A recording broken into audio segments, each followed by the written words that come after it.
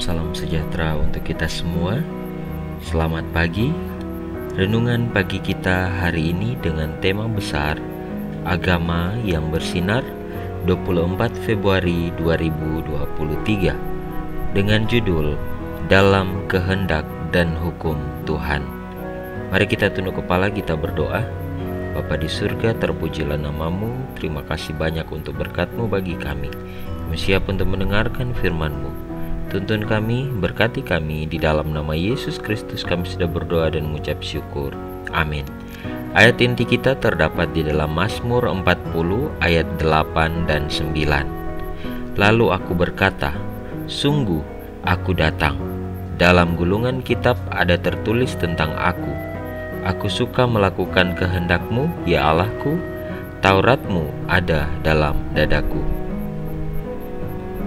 Keterangan Penebus yang menyangkal diri sepanjang perjalanan hidupnya yang penuh kasih di atas dunia adalah suatu gambaran hidup dari sifat hukum Allah. Khotbah di atas bukit halaman 59-60 Sejak kecilnya ia digenggam oleh satu maksud.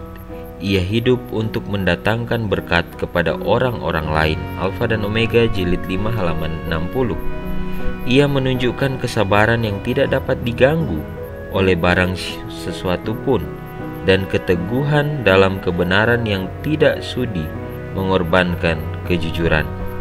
Dalam prinsip yang kokoh seperti batu karang, hidupnya menunjukkan sifat kesopanan yang tidak mementingkan diri sendiri. Alfa dan Omega jilid 5 halaman 58 59. Ada juga orang yang suka bergaul dengan dia, merasa damai kalau ia ada akan tetapi banyak juga orang yang menghindari dia sebab mereka tertemplak oleh hidupnya yang tidak bercela itu. Teman-temannya orang muda membujuk dia supaya melakukan apa yang mereka lakukan. Ia pintar dan selalu gembira. Mereka merasa senang kalau ia ada, serta menyambut gembira anjuran-anjurannya yang selamanya siap sedia.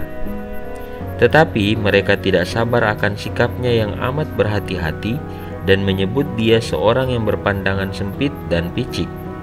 Yesus menjawab, "Ada tertulis, dengan apakah seorang muda mempertahankan kelakuannya bersih? Dengan menjaganya sesuai dengan firman-Mu.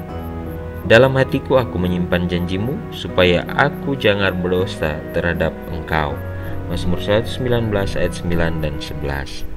Apabila ditanya mengapa ia tidak mengikuti senda gurau anak-anak muda Nazaret, ia berkata, ada tertulis, atas petunjuk peringatan-peringatanmu aku bergembira seperti atas segala harta. Aku hendak merenungkan titah-titahmu dan mengamat-amati jalan-jalanmu.